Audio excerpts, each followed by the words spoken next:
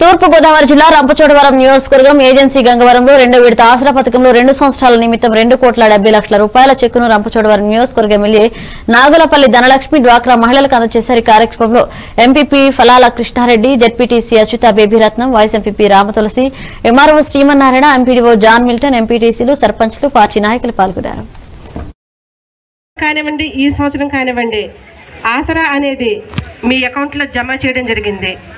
ఇది గతంలో మీరు తీసుకున్నటువంటి డ్వాక్రా అప్పుకి పెరిగిపోయినటువంటి వడ్డీ. మొత్తం మన నియోజకవర్గం మొత్తం మీద పదకొండు మండలాలు ఉన్నాయి. మీకు తెలుసంటే మనకి మొత్తం పదకొండు మండలాలు మన నియోజకవర్గం. పదకొండు మండలాల్లో ఇలా డ్వాక్రాలో అప్పు తీసుకున్నటువంటి అక్క చెల్లెమ్మలందరూ కూడా ఈ డ్వాక్రా అప్పు తీర్చాలి అంటే ఎంత అప్పు ఉందో తెలుసా అండి? ఒక రూపాయి రెండు రూపాయలు లేకపోతే ఒక కోటో పది కోట్లో కాదు. రాష్ట్రంలో ఎన్ని పరిస్థితులు ఉన్నా కూడా వాటిని అన్ని పక్కన పెట్టి మన కోసం ఆలోచించే ముఖ్యమంత్రి మనకి దొరకడం చాలా అదృష్టం. ఎందుకంటే